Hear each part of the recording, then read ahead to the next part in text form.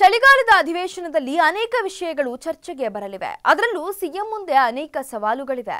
ಅವುಗಳು ಯಾವುವು ಅಂತ ನೋಡಬಹುದಾಗಿದೆ. ಪ್ರಮುಖವಾಗಿ ಸಿಎಂ ಮುಂದೆ ಇರುವಂತಹ ಸವಾಲುಗಳನ್ನ ನಾವು ನೋಡೋದಾದ್ರೆ, ಉತ್ತರ ಕರ್ನಾಟಕ ವಿರೋಧಿ ಅನ್ನುವಂತ ಒಂದು ಹಣೆಪಟ್ಟಿ ಕಳಚಿಕೊಳ್ಳಬೇಕಾಗಿದೆ.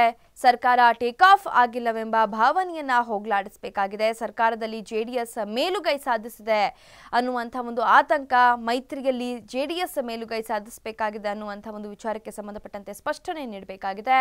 ಉತ್ತರ ಕರ್ನಾಟಕ ವಿರೋಧಿ ಅನ್ನುವಂಥ ಹಣೆಪಟ್ಟಿಯನ್ನ ಕಳಿಸಿಕೊಳ್ಬೇಕಾಗಿದೆ ಪ್ರಮುಖವಾಗಿ ಸರ್ಕಾರದ ಮುಂದೆ ಇರುವಂತಹ ಸವಾಲ್, ಸಿಎಂ ಮುಂದೆ ಇರುವಂತಹ ಸವಾಲ್ ಅಂತಂದ್ರೆ ಕಬ್ಬಿನ ಬೆಳೆಗಾರರ ಸಮಸ್ಯೆಯನ್ನ ಬಗೆಹರಿಸಬೇಕಿದೆ. ಸರ್ಕಾರ ಟೇಕ್ ಆಫ್ ಆಗಿಲ್ಲ ಅನ್ನುವಂಥ ಭಾವನೆಯನ್ನ ಹೋಗ್ಲಾಡಿಸಬೇಕಾಗಿದೆ. ಹಾಗೆ ಜೆ ಡಿ ಎಸ್ ಮೇಲುಗೈ ಸಾಧಿಸಿದೆ ಅನ್ನುವಂಥ ಒಂದು ಆತಂಕ ಏನಿದೆ ಮೈತ್ರಿ ಪಕ್ಷಗಳಲ್ಲಿ ಅದನ್ನ ಹೋಗ್ಲಾಡಿಸಬೇಕಾಗಿದೆ. ಸಾಲ ಮನ್ನಾ ಬಗ್ಗೆ ಇನ್ನೂ ಕೂಡ ಅದು ಎಫೆಕ್ಟಿವ್ ಆಗಿ ಜಾರಿಯಾಗಿಲ್ಲ ಅನ್ನುವಂಥ ಒಂದು ವಿಚಾರ ಏನಿದೆ ಅದನ್ನ ಹೋಗ್ಲಾಡಿಸಬೇಕಾಗಿದೆ. ಸೊ ಇವು ಪ್ರಮುಖವಾಗಿ ಸಿಎಂ ಮುಂದೆ ಇರುವಂತಹ ಸವಾಲುಗಳು. ಸೊ ಈ ಸವಾಲುಗಳನ್ನ ಸಿಎಂ ಎಚ್ ಡಿ ಕೆ ಎಷ್ಟು ಸಮರ್ಥವಾಗಿ ಎದುರಿಸ್ತಾರೆ, ಎಷ್ಟು ಸಮರ್ಥವಾಗಿ ವಿಪಕ್ಷಗಳಿಗೆ ಉತ್ತರವನ್ನ ನೀಡ್ತಾರೆ ಅನ್ನುವಂಥದ್ದು ಪ್ರಮುಖವಾಗಿದೆ. ಎಸ್ ಒಂದು ಕಡೆ ಬಿಜೆಪಿ ಕೂಡ ಅಷ್ಟೇ ಪ್ರಬಲವಾಗಿ ರಾಜ್ಯ ಸರ್ಕಾರವನ್ನು ಇಕ್ಕಟ್ಟಿಗೆ ಸಿಲುಕಿಸ್ಲಿಕ್ಕೆ, ರಾಜ್ಯ ಸರ್ಕಾರದ ಪ್ರಮುಖವಾದಂಥ ವೈಫಲ್ಯಗಳನ್ನು ಎತ್ತಿ ತೋರಿಸಲಿಕ್ಕೆ ತಯಾರಿಯನ್ನು ನಡೆಸಿದೆ. At the same time H D K ಕೂಡ ಅವರಿಗೆ ತಕ್ಕ ಪ್ರತ್ಯುತ್ತರವನ್ನು ನೀಡಲಿಕ್ಕೆ, ತಮ್ಮ ಮೇಲಿರುವಂಥ ಒಂದಷ್ಟು ಆರೋಪಗಳನ್ನು ಹೋಗಲಾಡಿಸ್ಕೊಳ್ಳಿಕ್ಕೂ ಕೂಡ ಇದು ಪ್ರಮುಖವಾದಂಥ ಒಂದು ವೇದಿಕೆಯಾಗಿದೆ. ಹಾಗಾಗಿ ಈ ಬಾರಿಯ ಈ ಒಂದು ಅಧಿವೇಶನ ಸಾಕಷ್ಟು ಕುತೂಹಲವನ್ನು ಮೂಡಿಸಿದೆ. ಎಸ್ ಈ ಬಗ್ಗೆ ಮತ್ತಷ್ಟು ಮಾಹಿತಿಯನ್ನ ನೀಡ್ತಾರೆ ನಮ್ಮ ಪ್ರತಿನಿಧಿ ಪವನ್. ಪವನ್, ಇವತ್ತಿನಿಂದ ಪ್ರಾರಂಭವಾಗ್ತಾ ಇರುವಂತಹ ಅಧಿವೇಶನ ಸಾಕಷ್ಟು ಕುತೂಹಲವನ್ನ ಕೆರಳಿಸಿರುವಂಥದ್ದು. ಅದರಲ್ಲೂ ಪ್ರಮುಖವಾಗಿ ಬಿಜೆಪಿ ಸದನದ ಹೊರಗೆ ಮತ್ತು ಒಳಗೆ ಯಾವ ರೀತಿಯಾದಂಥ ಪ್ರತಿಭಟನೆಗಳನ್ನು ನಡೆಸಲಿಕ್ಕೆ, ಯಾವ ರೀತಿಯಾಗಿ ರಾಜ್ಯ ಸರ್ಕಾರವನ್ನ ಇಕ್ಕಟ್ಟಿಗೆ ಸಿಲುಕಲಿಕ್ಕೆ ಸಿದ್ಧತೆಯನ್ನು ನಡೆಸ್ತದೆ, ಹಾಗೆ ರಾಜ್ಯ ಸರ್ಕಾರ ಯಾವ ರೀತಿಯಾಗಿ ಪ್ರತಿಪಕ್ಷವನ್ನ ಎದುರಿಸಲಿಕ್ಕೆ, ಸವಾಲುಗಳನ್ನು ಸಮರ್ಥವಾಗಿ ಎದುರಿಸಲಿಕ್ಕೆ ಸಿದ್ಧತೆಯನ್ನು ನಡೆಸಿದೆ ಅಂತ. ಲಿಖಿತ ಇವತ್ತು ವಿಧಾನಮಂಡಲ ಚಳಿಗಾಲದ ಅಧಿವೇಶನ ಆರಂಭ ಆಗ್ತಾ ಇದೆ. ಬಿಜೆಪಿಗೆ ವಿಧಾನಮಂಡಲದ ಈ ಒಂದು ಚಳಿಗಾಲದ ಅಧಿವೇಶನ, ಆ, ಸರ್ಕಾರದ, ಮೈತ್ರಿ ಸರ್ಕಾರವನ್ನು ಇಕ್ಕಟ್ಟಿಗೆ ಸಿಲುಕಿಸಲಿಕ್ಕೆ ವೇದಿಕೆಯಾಗಿ ಮಾರ್ಪಟ್ಟಿದೆ ಲಿಖಿತ.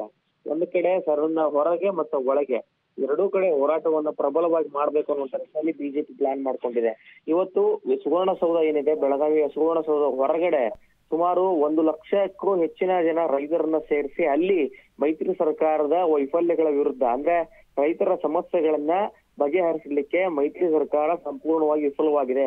ಕುಮಾರಸ್ವಾಮಿ ಅವರು ಕೊಟ್ಟ ಮಾತುಗಳನ್ನ ತಪ್ಪಿದ್ದಾರೆ.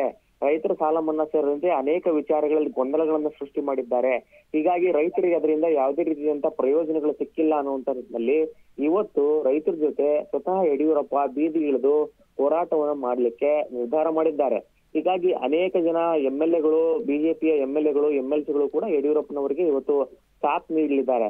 ಮತ್ತೆ ಇವತ್ತು ಸದನದ ಒಳಗಡೆ ಕಲಾಪ ಆರಂಭ ಆದ ನಂತರ ಶ್ರದ್ಧಾಂಜಲಿಯನ್ನ ಅಂದ್ರೆ ಇತ್ತೀಚೆಗೆ ಅಗಲದಂತ ಗಣ್ಯರಿಗೆ ಶ್ರದ್ಧಾಂಜಲಿಯನ್ನು ಸಲ್ಲಿಸಲಾಗುತ್ತೆ. ತದನಂತರ ಒಂದು ವೇಳೆ ಸ್ಪೀಕರ್ ಕಲಾಪವನ್ನ ಮುಂದುವರಿಸಲು ಇಚ್ಛೆ ಪಟ್ರೆ ಕಲಾಪ ನಡೆದ್ರೆ ಅಲ್ಲಿನೂ ಕೂಡ ರೈತರ ಸಮಸ್ಯೆಗಳನ್ನ ಮುಂದಿಟ್ಟುಕೊಂಡು ಸರ್ಕಾರವನ್ನು ಇಕ್ಕಟ್ಟಿಗೆ ಸಿಲುಕಿಸಲಿಕ್ಕೆ ಯಡಿಯೂರಪ್ಪ ಪ್ಲಾನ್ ಮಾಡ್ಕೊಂಡಿದ್ದಾರೆ.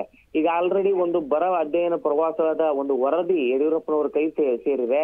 ಅಂದ್ರೆ ಸುಮಾರು ಆರು ತಂಡಗಳು ಬಿಜೆಪಿ ಆರು ತಂಡಗಳು ರಾಜ್ಯಾದ್ಯಂತ ಪ್ರವಾಸವನ್ನು ಮಾಡಿ ಬರಕ್ಕೆ ಸಂಬಂಧಪಟ್ಟಂತೆ ಮಾಹಿತಿಯನ್ನು ಸಂಗ್ರಹಿಸಿವೆ. ಸೊ ಆ ವರದಿ ಆಧಾರದ ಮೇಲೆ ರಾಜ್ಯಾದ್ಯಂತ ಉಂಟಾಗಿರುವಂತ ರೈತರ ಸಮಸ್ಯೆಗಳನ್ನ ಯಡಿಯೂರಪ್ಪ ಪ್ರಸ್ತಾಪ ಮಾಡುವಂತ ಸಾಧ್ಯತೆಗಳಿದೆ, ಲಿಖಿತ. ಓಕೆ ಅದರ ಜೊತೆಗೆ ಪವನ್, ಈ ಒಂದು ಅಧಿವೇಶನದಲ್ಲಿ ಎಚ್ ಡಿ ಕೆಗೆ ವಿರೋಧ ಪಕ್ಷಗಳ ಈ ವಿಚಾರಗಳು ಒಂದು ತಲೆನೋವಾದರೆ, ತಮ್ಮದೇ ಮೈತ್ರಿ ಪಕ್ಷದ ಕಾಂಗ್ರೆಸ್ನ ಸಾಕಷ್ಟು ಶಾಸಕರು ಅಸಮಾಧಾನಗೊಂಡಿರುವಂಥದ್ದು ಮತ್ತು ಅಧಿವೇಶನಕ್ಕೂ ಕೂಡ ಗೈರು ಹಾಜರಾಗುವಂತಹ ಸಾಧ್ಯತೆಗಳಿದೆ. ಹಾಗಾಗಿ ಸಾಕಷ್ಟು ಸವಾಲುಗಳಿರುವಂಥದ್ದು.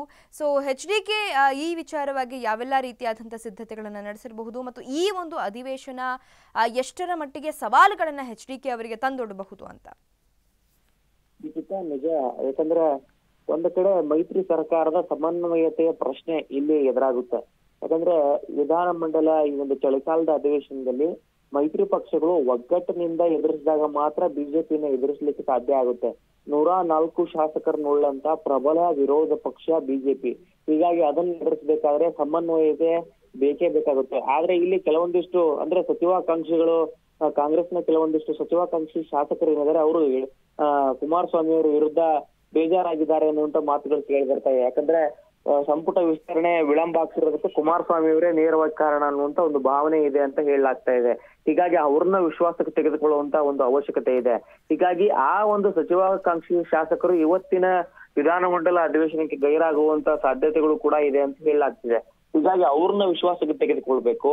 ಮತ್ತೆ ಪ್ರಮುಖವಾಗಿ ಬಿಜೆಪಿಯ ಒಂದು ವಿರೋಧವನ್ನು ಎದುರಿಸಬೇಕಾದ್ರೆ ಯಾವೆಲ್ಲ ವಿಚಾರಗಳನ್ನ ಪ್ರಸ್ತಾಪ ಮಾಡಬೇಕು ಅನ್ನೋ ಕೂಡ ಕುಮಾರಸ್ವಾಮಿ ಅವರು ತಯಾರಾಗಿದ್ದಾರೆ.